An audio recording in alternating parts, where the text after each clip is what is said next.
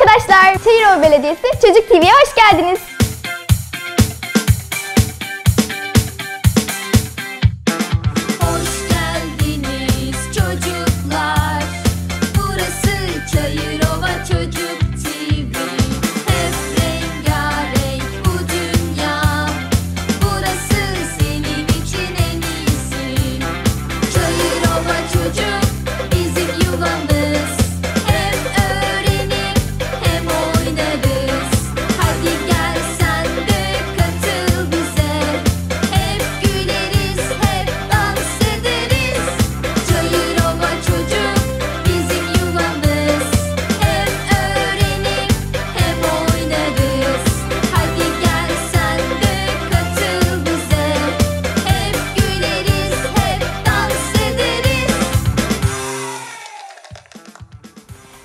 Arkadaşlar, nasılsınız? Bu arada gerçekten hepinizi tebrik ediyorum.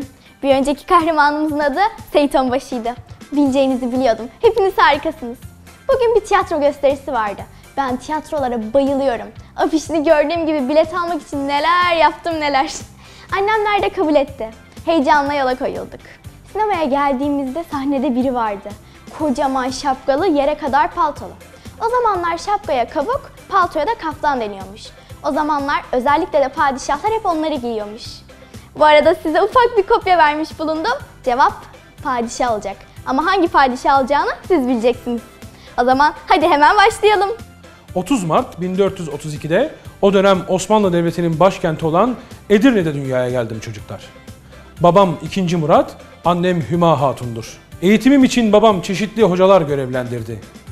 Medrese kökenli hocalarımın yanı sıra batılı şahsiyetlerden de ders aldım. Saruhan Sarayı'nda ünlü İtalyan hümanisti Anconalı Siriaso ve sarayda bulunan diğer İtalyanlardan çeşitli dersler aldım. Antik Yunan filozoflarının hayatları ile ilgili kitaplar okumama ön ayak olmuşlardır. Kitap okumak çok önemli çocuklar.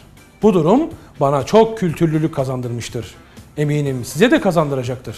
Topkapı Sarayı arşivinde bulunan şehzadelik yıllarıma ait karalama defterlerimde Latin harfleri, Arap harfleri, eski Roma büstlerini andıran insan figürleri ve Osmanlı figürleri bulunmaktadır. Arapça ve Farsçanın yanı sıra Yunanca, Latince ve İtalyanca öğrenmem Saruhan Sarayı'ndaki insanlarla olan münasebetlerime dayanır. 12 yaşında Osmanlı padişahı olarak tahta çıktım.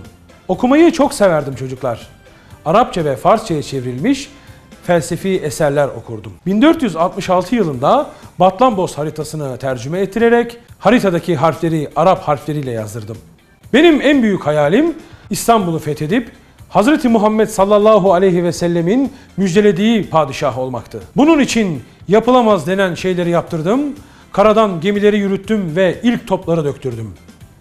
5 Nisan'da Edirne'den yola çıkan toplar 6 Nisan günü İstanbul önlerine geldi. 29 Mayıs 1453'te İstanbul'u fethettim. 1453'te İstanbul'u fethettiğimde orada yaşayan halka bütün özgürlüklerini tanıdım ve eşit davrandım.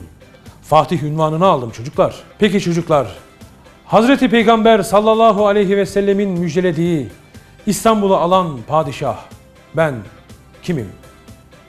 Ya arkadaşlar, işte tiyatrodaki size bahsettiğim kahraman oydu. Kocaman şapkalı, yani kabuklu ve yere kadar paltolu, yani kaftanlı padişahımız. İstanbul'u fetheden. İstanbul'u iyi ki de fethetmiş. Çünkü ben gerçekten çok seviyorum o şehri. Cevabı bulabildiniz mi çok merak ediyorum. Eğer bulduysanız yorumlar bölümüne yazabilir ve bizden hediyeler kazanabilirsiniz. Kanalımıza abone olmayı ve videomuza like atmayı unutmayın. Görüşmek üzere.